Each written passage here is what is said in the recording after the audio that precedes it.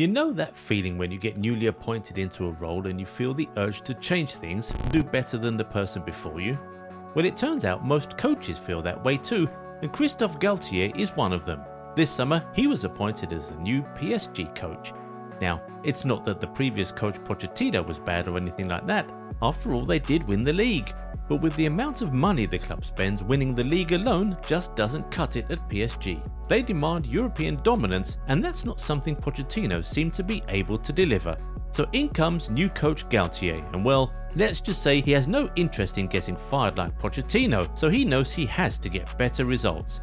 And to get better results, he has to make a few changes at the club, including a few new signings.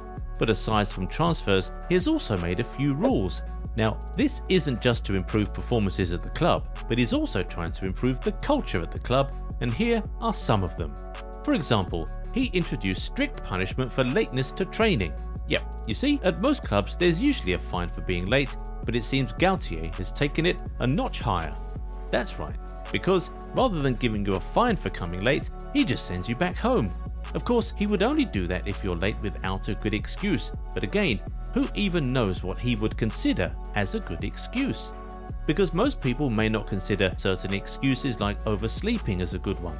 So well, if you're a PSG player this season and you want to show up late, you're probably safer if you cook up a bizarre excuse like, my car was chased around town by a tag team of elephants and hippos. Of course, no one would believe your story and you'd still get sent home anyway, but at least you would have provided some real comic relief for the rest of the day and that would be a pretty decent achievement, don't you agree? Now, one other rule he has made was regarding the way they eat meals. Yep, you see, football is a team sport, and when it comes to building a team, one thing you surely don't want in that team is the presence of cliques. But at PSG, well, there seems to be a few cliques within the squad. Unfortunately for Pochettino, he probably didn't see it as anything major, so he just let it slide. But since Galtier came in, he has quickly spotted the issue, and guess what? he has chosen to eliminate it. And one way he has chosen to solve the problem is by making his players eat together. Now that may sound like a weird way to try and solve that problem, but it's actually not a bad thought. Because you see, during meals, it's easy for people to sit at a table with only people that they're friends with, and well, that's probably the easiest way to form cliques.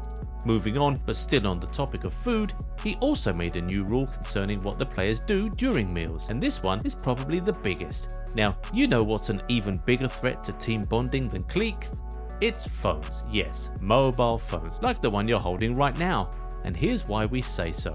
Now, have you ever held your phone and logged into social media while eating? Well then, you must have noticed how easy it is to ignore everybody around you when you're doing that. No kidding, you could literally just sit there the whole time without any care or knowledge in the world about what's going on around you. And like we said, this is an even bigger threat than the cliques, because at least when you have cliques, you still get to talk with teammates. But when you just sit there with your phone, you're talking to absolutely nobody. Good thing for Galtier is that he understands this, which is why he decided to ban the use of phones during meals. Now, in a team filled with star players earning huge wages, this may seem like a difficult rule to enforce, but guess what? They all follow the new rule. Well, or at least we've not heard of anyone who's broken it.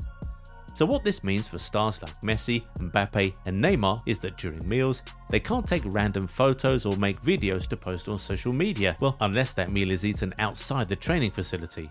Or perhaps they find a way to hide their phones while doing so, now, we don't know what would happen if they break the rule and use their phones, but we don't think any of them want to find out firsthand, because surely nobody wants to be in the bad books of the new coach. Also, nobody wants to be on the receiving end of a tough punishment. For example, imagine being told to do 2000 push-ups just for using your phone at lunch. Okay, that is a bit of an exaggeration, but you get the point, don't you? So it would just be a lot better to put the phone away and avoid any punishment, don't you agree? Now, all of these rules may seem a bit strict for these players because after all, they are big names, millionaires. So well, it wouldn't be surprising if a few of them opposed the rule. But surprisingly, they all seem to be happy with the rules and have been following all of them. And now, they are seeing the effects on the field as it has translated to better results. In their first league game of the season, they won by a massive margin, and somewhere in that game, Messi even scored a goal with a bicycle kick, which is something you don't see him do every day. But guess that's just what happens when you trust a coach who has a good plan. And well, we think the team is going to benefit a great deal from their new boss and his rules this season, especially in attack. And who knows, this might just be the season the club finally wins its first Champions League title. But that's just what we think. So what about you? What do you think of all this? And how do you think it'll affect their performances this season? Let us know in the comments section. Give this video a thumbs up as well if you enjoyed it. And would you like to get even more cool videos like this one?